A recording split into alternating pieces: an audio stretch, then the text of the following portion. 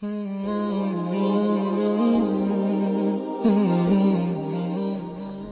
I'm standing with Dr. Muhammad Haggar, the president of the Culture Center for Research for Study of African and Arab Studies in N'Djamena on the Chinese Bridge in Chad. You can see the beautiful Shari River, which is starting from Bangui in the Central African Republic and ending in Lake Chad. Take about 1,200 kilometers to cross this area. This river is a lifeline for Chad and for Central African Republic.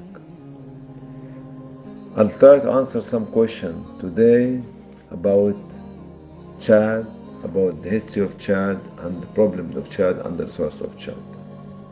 While we are looking at the river and enjoying the scene on the river, I realized that the Arabic language has entered Chad at the end of the 6th century by the Arab tribes who traveled or immigrated from Yemen and to Chad, crossing the Red Sea to Ethiopia, Sudan, South Egypt, South Libya. Then they came to central Chad, and from central Chad, this, they settled there to establish a state called uh, the state of Bani Saif or the Saifiya state. This happened after the collapse of the Dam of Ma'rib in Sheba. The Arabic language is one of the main two languages in Chad. The second is the French language. Islam came to Chad at the first Hijri century from North Africa with the colleagues of Uqba ibn Nafi' was conquering Afriqiya, which is Tunisia and the north, and sent his colleagues to spread Islam in Chad. Islam came first to a place called Tibesti in the north, far north of Chad.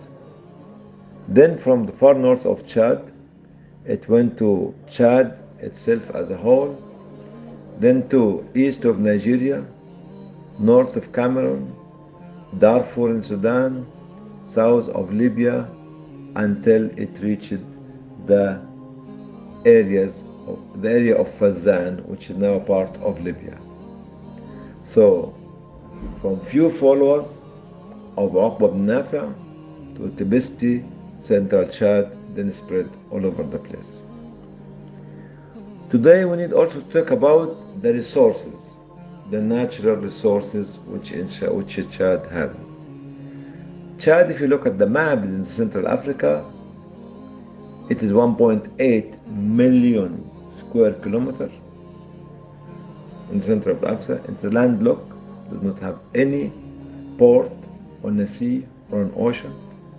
Extremely wealthy of natural resources, but unfortunately, its people one of the poorest nation on earth. The second from the bottom of the uh, list. If we talk about oil, Chad 2003 became one of the members of the oil club because of its vast resources of oil in the country, which is huge. If we talk about natural gas or gas, it's a place, present in Kano, in a place called Bahr al Ghazal, and an area, different areas. It's huge. The reserve of oil and of gas is something unimaginable for the country of Chad to enjoy, to extract, and to import, to, to export. If we talk about minerals, gold also It's one of becomes extracting gold. It becomes extremely traditional because of the amount of gold in the country. Even people are doing it by the traditional way of extracting gold from the land. It's in the area of Tibesti, Abyei, and Batha. Also, it has cobalt, radium, iron, steel, and uranium. And if you remember the 1980s war between Chad and Libya, it was because of the wealth of uranium in Chad and how Libya wanted to control an area of 120 square 120 square 220,000 square kilometer in this area. Chad uh, reserve of uranium considered to be the fourth globally. Also from the natural resources, Chad is extremely rich of water. Six rivers, three lakes, and the second largest reservoir of water in the in Africa. Livestock, 72 million cows, 46 million camel, 127 million uh, sheep, 666 million uh, goat, like plus other uh, wildlife animals as well. And this is in Chad. And it has the second best, most important uh, zoo in Africa in a place called Zakouma and say that the zoo of Zakouma in the south of Chad. Also, it has a sand called Atrol sand. They used it in beautification uh, product as well as salt.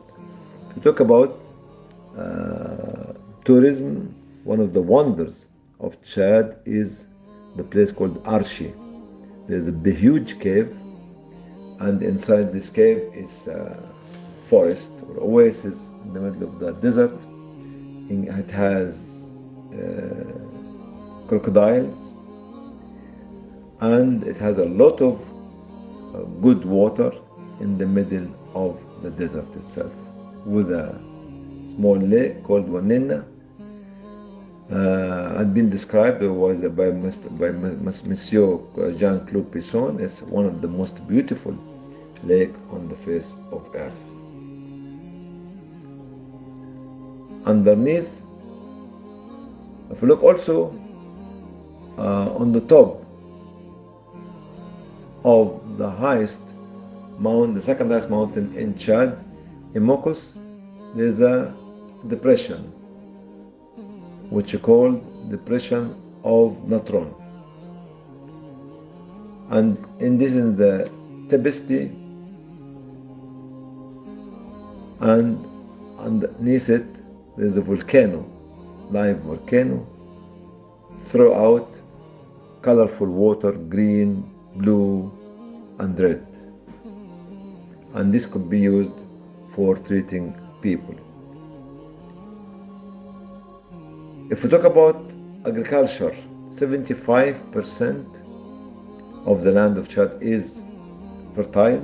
Even the sand, I mean the desert, is very fertile, so you can actually plant in the desert grapes, uh, dates, and wheat.